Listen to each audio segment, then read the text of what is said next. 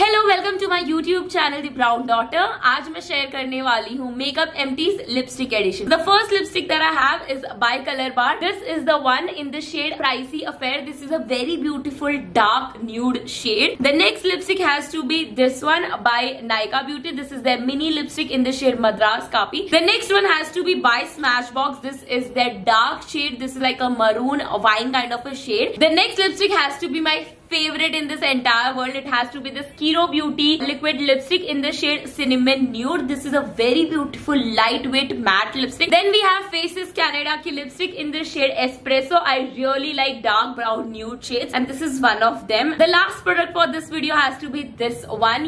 maine li thi website se. I I don't know the shade. I don't know anything about it. But kafi sundar ek nude shade tha. I'm going to take this lipstick and ask them to give me the same one. So that is it for this video. Thank you for watching watching. Like, share and subscribe. Bye bye.